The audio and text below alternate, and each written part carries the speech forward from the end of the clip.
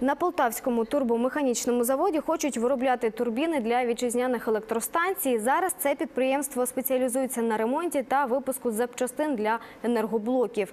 На чому ґрунтується впевненість заводчан, дізнавався Роман Ковтун.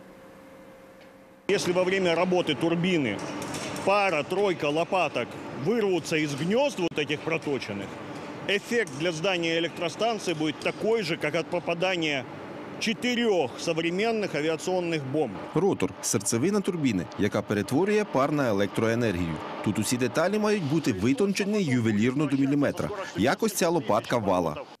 Значит, номинал у нас 39, а плюс 4 сотки это проходит, а минус 4 сотки не проходит. Цех компресорного лиття, дільниця гарячого штампування. Температура заготовки цих кілець від 800 до 1200 градусів. Тут одне з найбільших ковальських виробництв Полтавської області. мы делаем полуфабрикат. Полуфабрикат, который дальше идет в обработку, мехобработку, как на энергостроение, так и на серийную продукцию, на компрессора, на все наши станции. Крім випуску власної продукції, заводчани ремонтують обладнання електростанцій. Директор Костянтин Ондаренко каже, підприємство вже готове до проектування та виготовлення турбіни потужністю до 350 МВт. Чекають на замовлення. Зачем себе ограничувати тільки в статусі ремонтного? Почему мы не можем просто делать полнокомплектную поставку турбины? Да, там э, не полностью задействованы, все, все это оборудование будет изготовляться на нашем заводе.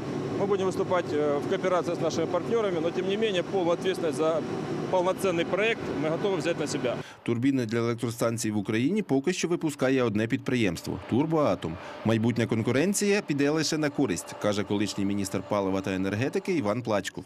Виграє від цього і споживач. Это прямая связь с тарифами, потому что все равно то, что делается в энергетике, это, это все ложится на тарифы конечного потребителя. И э, вот эту работу, которую мы сегодня сделали, она прежде на- всего направлена на интересы потребителя, э, на интересы гражданина Украины. Виграють і енергетики, адже за даними експертів, обладнання вітчизняних станцій на 60% зношене та морально застаріле. Роман Ковтун, Сергій Тищенко. Новини на першому.